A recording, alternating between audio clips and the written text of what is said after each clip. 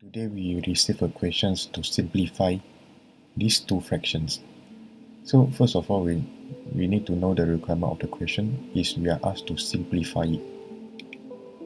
And these questions are catered for a 2 marks. So let me show you how do we get the 2 marks. So first of all, we need to get rid of these divisions. By doing that, we need to upside down these fractions in order to make it as a multiplications.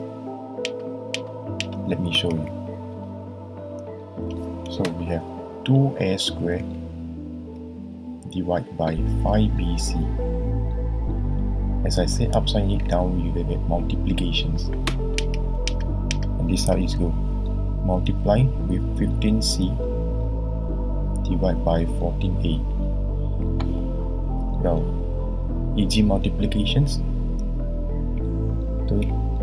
2a squared times 15c we will get 30a squared c divided by 5bc times 14a we will get 70abc well let's simplify it. Divide it divide it by 10 on denominator and numerator. So you get 3 a squared c divided by 7abc. Further it down to simplify it, a squared and a, c and c will end up getting a 3a divided by 7b. So this is will be our final answer.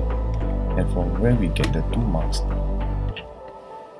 as we are asked to simplify it, the simple multiplication on how do we get rid of this division into multiplications? Here you receive 1 marks. And the second marks are from our final answer. So total up make up a 2 marks questions